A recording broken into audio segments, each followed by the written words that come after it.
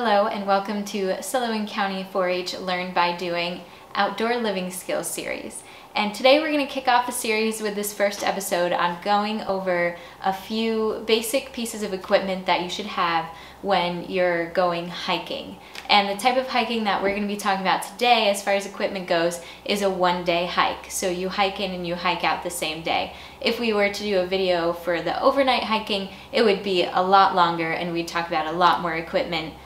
Today, we're just going to talk about the basic equipment that you'll need to bring with you on a hike for safety reasons and also to get you started on safe hiking. So to start off, clothes. What you wear is very important when you go hiking, no matter the distance. If you have incorrect shoes on or if you're you don't have enough clothes on where you're cold, it can make the hike not only dangerous but also just not fun because you're going to be uncomfortable the whole time.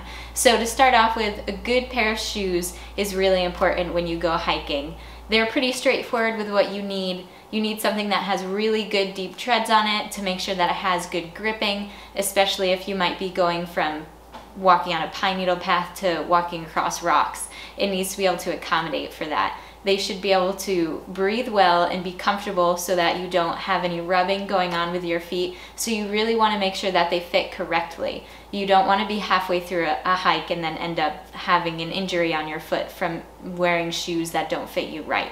So definitely make sure they have tread, they fit right, and they have some kind of ankle support. And that's really important too, because some of the trails that you might come across might have some obstacles in them, they might be a little rocky, and you don't want to continuously be rolling your ankle the whole time. So having that extra protection of your shoe supporting your ankle can really help with that. And the last thing that's pretty important is to make sure that they're waterproof. If you come across uh, an area in the woods that has some water in it, you don't want to have wet feet while you continue hiking because that can also be very detrimental to your health. So you want to make sure that your feet are well taken care of for sure when you go hiking.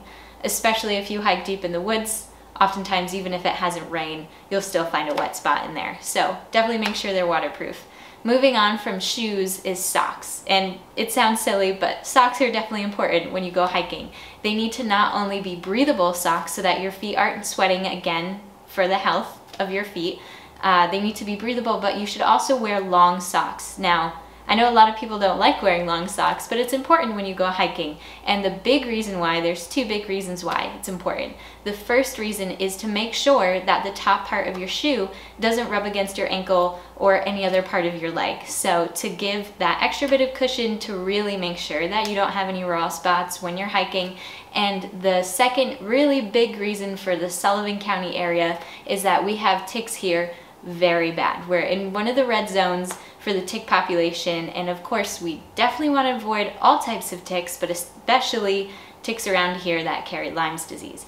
And having long socks in addition to your other clothes can help prevent ticks from going up your leg, up your pant leg and or make it so that they don't attach to you. So when you do find them on your sock, you can easily remove them from the sock and not your skin. So long socks for to fight against rubbing of your shoes and also for ticks, very important. And moving up from there is pants. Now, you should wear pants when you go hiking instead of shorts. A lot of people like to wear shorts because they think they're gonna get too hot in pants. And while that could be true, it's better to go for a pant that has a tough enough cloth where it can hold up to things like if you come across a pricker bush or if you might get snagged on something. It's better to find a, a long pants that's made from a breathable cloth that has a little bit of strength to it that you can wear as opposed to shorts. Again, to protect your legs from rocks or from pricker bushes or twigs or insects.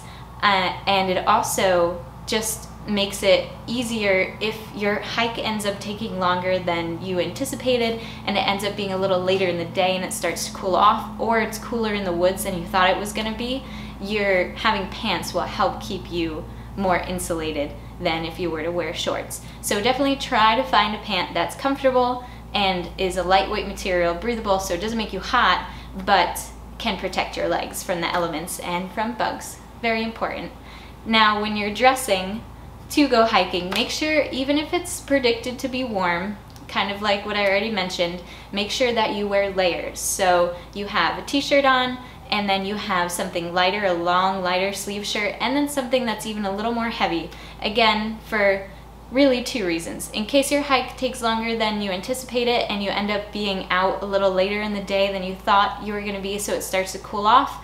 If you've been sweating all day and then you get cold from the temperature dropping, that can cause sickness. So you wanna make sure that you can protect yourself from the elements that way. And also if you get lost in the woods and you have to wait for someone to try to come and find you guys, then having those extra clothes will definitely help you out in that kind of survival situation. And also, sometimes it's just colder in the woods than we expect it to be, especially if you go deep in the woods. So even if it's supposed to be 80 degrees outside, it might end up being 60 in the woods. And you want to make sure that you definitely take care of your body when you go hiking. It's very important. And then the last thing to bring along with you is a hat. And hat, why? Well, mostly because of the sun. A hat can help protect your scalp from the sun, a place that really we have trouble sunscreening with traditional sun spray or suntan lotion. So definitely uh, wear a hat for sun, for bug protection. It can protect your ears. Um, and it's just a very helpful thing to have too. Also, if your hike goes late, it'll help insulate your head as well because we lose a lot of body temperature through our head. So a nice hat can really be a good addition to your hiking equipment as well. So now we're going to move on to equipment that you would maybe need to carry with you. And I like to bring a backpack even on a short hike uh, because sometimes things happen and the hike is longer than you anticipated or something happens and you need a piece of equipment in here, it's better to be prepared than to not be prepared. So if we talk about backpacks first, this is one I just like to take on uh, day hikes and it's soft. There's no real structure to it, but it has very supportive straps. It has straps under here, which kind of go across your waist and help distribute some of the weight. And then it has straps on the arm handles as well. So it's a very supportive backpack. Uh, on short hikes, I don't usually take backpacks that have any kind of framing onto them.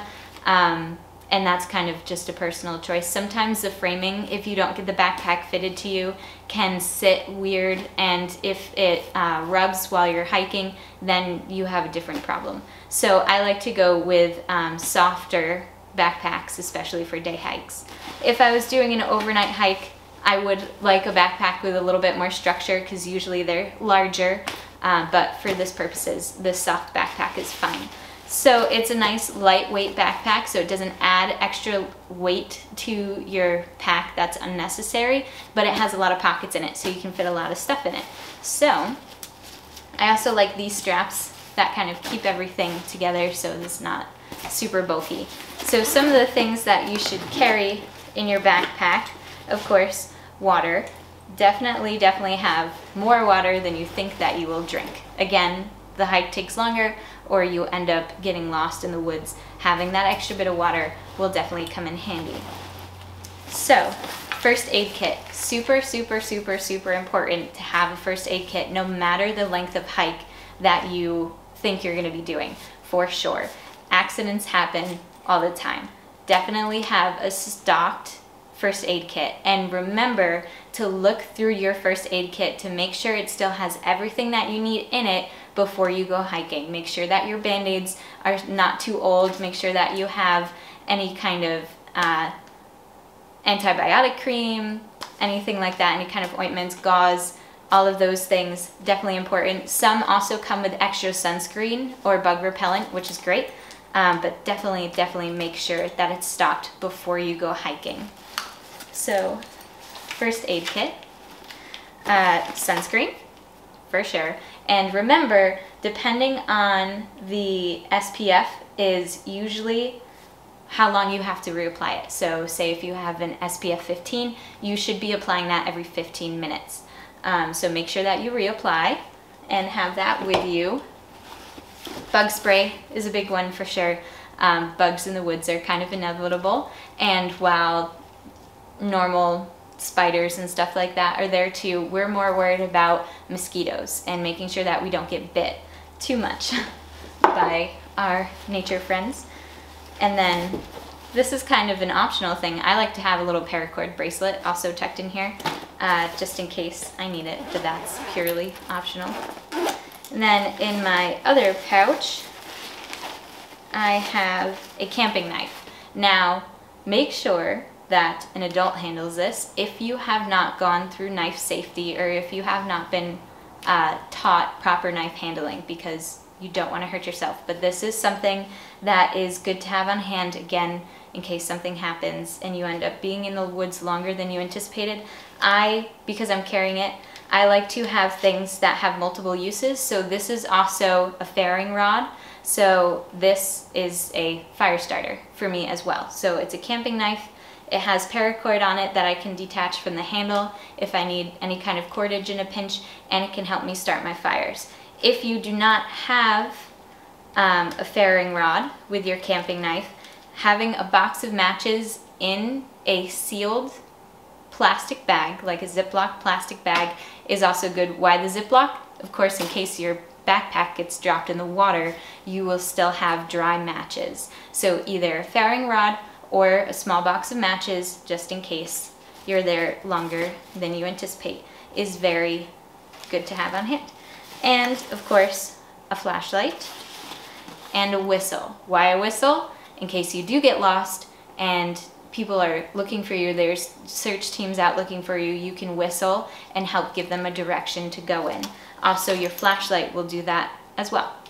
So, another good thing to have on hand is a snack in your backpack, even if you're going on a short hike. So, a snack can do one of two things. If you do end up staying in the woods longer than you anticipate, it can of course be a source of food for you. But also if you're going to be hiking for a while or longer than you anticipate, then having that extra bit of protein and sugars and salts can help make sure that you prevent cramping and have the correct energy to make it out of the woods without any injuries. So you want to you definitely don't want to be low on your sugar intake or your protein intake when you are hiking um, for safety reasons. Also, you should check out the area that you are going to be hiking in and carry a map. Do not rely on your cell phone when you're in a hiking situation. Uh, nine times out of ten, you won't have service deep in the woods, and if you do have service, or if you have spotty service, if your phone is continuously searching, of course, you know that the battery is going to die. So do not rely on your phone to help you out in a pinch. You should always be prepared to guide yourself out. So make sure that you have a map and you familiarize yourself with a map of the trails that you will be on that day for sure. Um, also, be sure before you leave to let someone know that isn't traveling with you. So if you're going with your parents or another adult, make sure that you let someone outside of your group know where you're going, what trail you're going on, and when you anticipate to be back and this is very important for quick rescues. If something happens and you do get turned around in the woods and your group gets lost in the woods, stay together and those people that you let know that you're going hiking will try to check in with you when you anticipate that you would be back. If they can't get a hold of you, they'll call someone to start searching those trails for you and it will take them a lot they'll respond a lot quicker if they know where to start looking. So for sure, for safety reasons, absolutely let someone outside of your party know where you're going, what trail you'll be on, and when you anticipate to be back. Those are very important. Remember that whatever you carry in, you have to carry out. So we've kind of gone over very, very basic things to bring with you. Of course, you can add as much other items as you want. But remember that you have to carry it in and you have to carry it out. This backpack alone with my first aid kits, my equipment in it, weighs about seven and a half pounds with just this in it. And you have to carry that when you go hiking. So if you want to add something like a camera or you bring something additional luxury wise like that, just keep in mind that you have to add that poundage to your backpack. There's plenty of room in here to add more things to it if you need to, um, but just remember that you will be carrying that the whole time you'll be on your trip. So for sure, make sure you have everything you need and anything extra, you just kind of have to weigh if you're going to want to carry it the entire time or not. Um, and of course, make sure that if you do carry in a snack and you finish it, just put your garbage in your backpack until you get off the hike and make sure to dispose of it properly. Very, very, very important for the health of the trails and the environment that you're hiking in to whatever you carry in, you carry out for sure. Okay, so that concludes just our very basic, brief going over of equipment. Of course, again, this is not an exhaustive list. You can add more things to this, um, but it's pretty much just a basic getting you ready to go on a one day hike. Again, safety first. Make sure that you check in and you have looked at all the trail requirements, and you know your trail map well, you familiarize yourself with it, you let the appropriate people outside of your party know that you're going to be hiking and where you're going to be hiking, and you have all your emergency equipment with you for sure. So I hope that you guys have fun gathering your equipment to get ready to go and explore the outdoors. We'll be outside the next time that we meet, so I hope that you'll join me again.